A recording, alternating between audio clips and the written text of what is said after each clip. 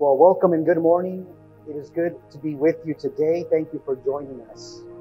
If you uh, are here for the first time and uh, perhaps uh, either online or in person, I always say to you, you must know you're welcome, you're loved, you're safe, and that God is well pleased with you. Certainly, our prayers this morning continue for the communities in Texas, California, New York, and Oklahoma, grieving the loss of a family member to gun violence, for parents burying their children, for children burying their parents and their grandparents. Even here, we pray for our youth directors, Andrew and Bridget, who are away in uh, Las Vegas with family grieving the unexpected loss of Bridget's sister, who leaves behind a 10 year old son. Lord, in your mercy, hear our prayer.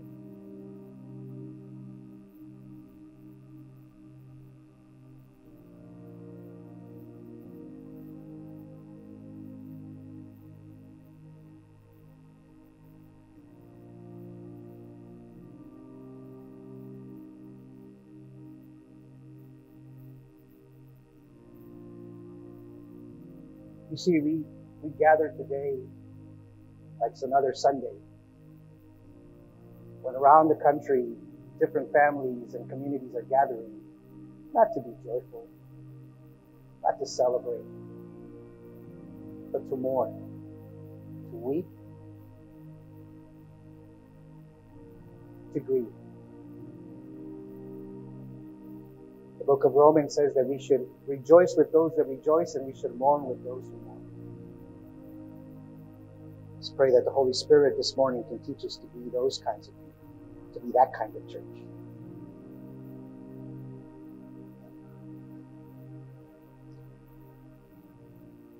It was a, a lunchtime that I was uh, participating in.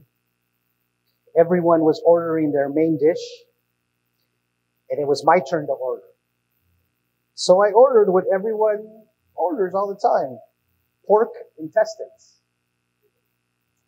This was my first time ordering such a dish, but my friends around the table insisted that I order pork intestines, so I caved into the pressure and I ordered pork intestines. When this plate came out full of pork intestines, it was placed in front of me. I looked at it and I trusted my friends. I dug right in took the first bite. And right there in that first bite is where I immediately realized that I do not enjoy eating pork intestines. That it's not my thing. Now everyone around the table laughed at me because they all knew that pork intestines were a, was a unique, you know, Chinese delicacy. Not for everyone, but for some. I couldn't take a second bite. So I tell you this story though this morning because there was a point in my life when I worked so closely, so tightly with people of Asian descent. They were from China, they were from Singapore, they were from Taiwan. And I intentionally learned some of their phrases, some of their words, some of their language. But in the process of learning their language, of learning their words, I began to fall in love with the people. With their foods, most of their foods, their customs, their days of celebration. And the more I learned, the more I felt like part of their family. And the more I learned, the more they became part of my family. There is something beautiful about learning a new language, a new culture, a new people, it's like one grows, one expands, one's love extends further than one can imagine. One's eyes are open to a whole new perspective. I've titled today's sermon, Do You Speak People Fluently? Today's wisdom derives from the book of Acts. And this moment is a miracle moment. It is a supernatural experience that has arrived. A multilingual proclamation of miraculous proportions, shall we say. The sounds of howling wind filling the entire house, visible fire flames in the tongues of those who were gathered, and all in the room were filled with the Holy Spirit. Many languages spoken as the Spirit enabled.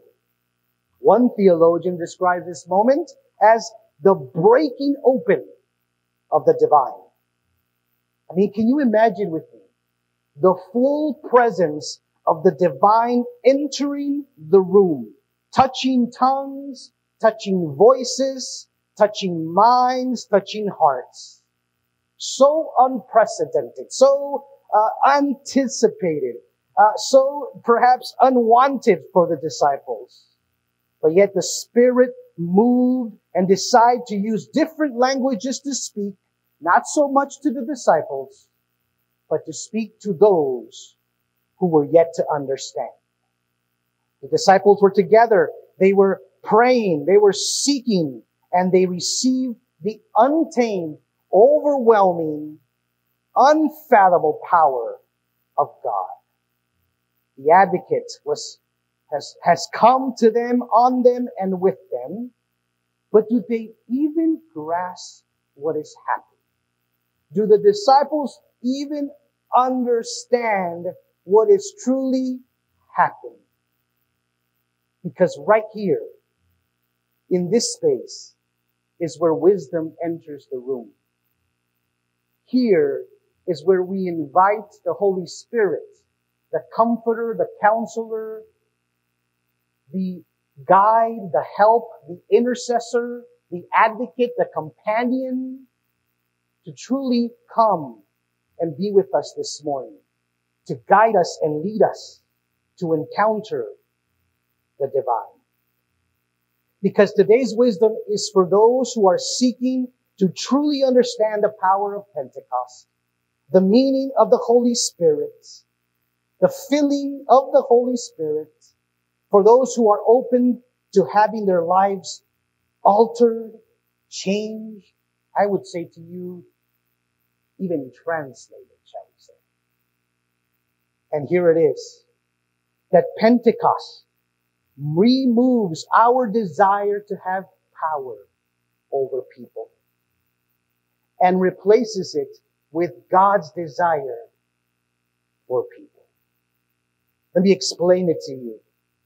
If one truly pays attention to the Pentecost moment, one can see that language is the method by which God's desire for people is revealed. Perhaps the divine is attempting to usher a new expansion, a new movement, a growth, a, an extension, shall we say? Is it to say that the filling of the Holy Spirit is moving in the disciples to speak diverse languages? Could it be that God was ushering a new future? A future that would be shaped not by humans, but would be shaped by the divine.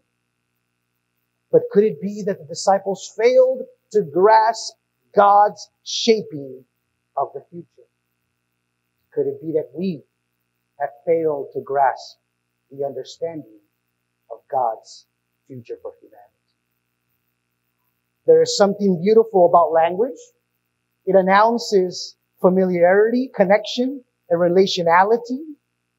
But to learn a new language is not always an organic desire. It's not always something that organically grows within us. Why should it? Have you ever tried to learn a new language? It is hard. It requires repetition. It requires pronunciation. It requires submission to another person, to another people. Have you ever tried to learn Hawaiian? because I have it. It's been such a humbling experience. But those who try to learn a language are always met with this crucial moment. This moment that attempts to learn a new language and yet when they realize it or don't realize it, they fall in love with the people, with the original speakers, the native speakers of that language. One begins to love more than the language. One begins to love the people, their foods, their faces, their customs, their songs, their poetry, their artistry. But also one begins to care for their struggles, their pains, and their injustices. To speak a language is to speak a people. God speaks people fluently. Could it be that the Holy Spirit has come in language with great urgency so to teach Jesus' disciples to speak people fluently as well? This is, I believe, the revolution, the miracle of Pentecost. God's invitation for you and I to speak a new language, to speak a new people. But here, in this very moment, is where the tension arrives. Because if you and I are honest with ourselves, we would admit quickly that we love to speak our own language. We would admit that we love our own foods and our own songs and our own customs, that it's way too comfortable. Why would we want to come out of that comfort to be uncomfortable? Why learn a new language? Why learn a new people? You see, I guess what I'm saying to you this morning is that God is way ahead of us. And we're just merely trying to catch up. That there has been in our history people before us, some are ancestors, who have taken language and used it for evil. Who have claimed to have the best language, the most uh, intellectual language because all the other languages are not that intellectual. That somehow the language we have is blessed by God, holy and blessed, and that all the other languages, they're uncivilized. They're not as scholarly as our language. I mean, imagine learning a language not because you want to, but because you're forced to. You see, language can be used for evil. It can be used to oppress. It can be used to enslave. It can be used for evil purposes. Now I know we don't like to hear that. But how many stories have we heard of people, of indigenous people, who have been tried to be removed of their ethnicity, of their color, of their language, of their culture. Been mastered over, been enslaved. Entire communities have experienced genocide. By all historians, that's what it is. Imagine such a thing. That sounds like the desire of humanity power over people. I wonder sometimes, is this why so many precious and beautiful communities continue to run from our churches? Black, brown, and indigenous communities missing from our congregations. LGBT communities missing from our congregations. Families with little kids who run around church missing from our congregations. Asian, Hawaiian, Pacific Islander communities missing. Young college age students missing. Could it be that perhaps they sense, they feel, they can perceive the same desire of people of church wanting power over them? And every once in a while, there's these communities that encounter a person, a church, a faith community, a neighbor, a friend, a pastor who will speak a language and will speak a people. Not to change them, but to be changed by them. Not to conquer them or to make them into Christians, but to be Christian among them. To be a sound for them. This is why I believe this passage gets to a point where the people ask, what does this mean? I don't know if you caught it. I would say that the question could also be, what is God doing? Well, I believe God was pouring out the Holy Spirit, the advocate, to speak a new language, to speak people fluent. But is it even possible? Is it even possible to love a new people, to speak a new language? I come to say to you this morning, yes, of course it's possible. But it takes real courage. It takes boldness to reach across the boundaries that separate us, cultural boundaries, ethnic boundaries, religious boundaries. When we do this though, this is what we would call neighbor love. When we do this, it is drenched with the Holy Spirit, enabled by the Holy Spirit to learn how we might refer to people who are different than us. There's this Chinese proverb. I told you I learned about the Chinese culture that says to learn a language is to have one more window from which to look at the world. What windows are we looking through this morning? Could it be that we are failing to grasp the message of Pentecost?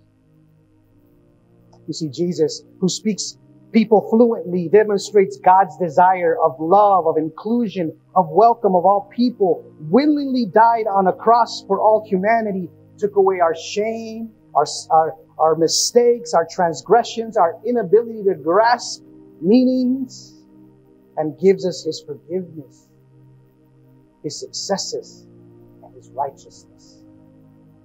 And He rose on the third day to give us liberation. And you would say, liberation for what, Pastor Moses? You see, I would say to you, liberation to be molded, to be shaped, to be translated, shall we say to go out into this world, to speak a new language, to speak a new people, to follow after God's desire for humanity, to grow, to grow a heart for people, to grow a heart for others that are preferably not like us, that do not eat like us, speak like us, believe like us, think like us. Preferably for those who don't have the same skin color as us. You see, when we start living like this. Well, that's just another Pentecost moment. That's just the Pentecost flowing and overflowing. That's just like the rushing wind filling an entire room. It just overwhelms us. It fills us. And it makes us speak Church, may we step into that in this season. May we remove the indifference that exists within us. May we be reminded that it's not our power over others, but it is God's desire for all humanity to be part of this church. Word of God and Word of life and we all say together, Thanks be to God. Would you pray?